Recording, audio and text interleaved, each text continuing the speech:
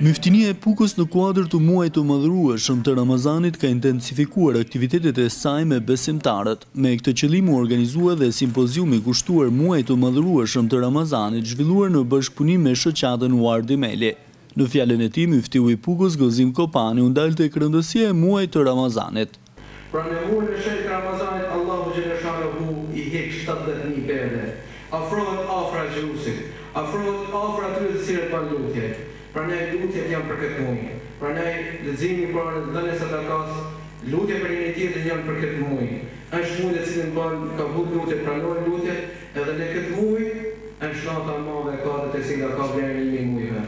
Me mjaft interes u ndoqën dhe kumtesat e teologëve nga Shoqata Wardi Meli, Abdullah Xhengez, si dhe Zahra Bajram, të cilët në bashkëbisedim me besimtarët u ndalën tek mirësitë e muajit të madhërueshëm të Ramazanit, ndërsa falënderuan dhe Myftiun Kopani për mënyrën e drejtimit të Myftinisë. Aktiviteti vijoi dhe me kumtesa të tjera, të cilat lidheshin me muajin e Ramazanit dhe vlerën e agjërimit për besimtarët. Profeti Muhamed thotë, Kushdo që ofron një gotë ujë agjëruesit për të çelë iftarin, kjo do t'i shkruhet atij sevap. Me këtë kuptojmë se respekti ndaj agjëruesve të Ramazanit është mirësi nëpërmjet të cilit ka marrë sevap. Këshilli i Myftinisë vlerësoi me certifikatë falënderimi Zahra Bajram dhe shoqatën Wardi Meli për ndihmën e dhënë në ndihmë të familjeve në nevojë në një pjesë të rrethit të Pukës.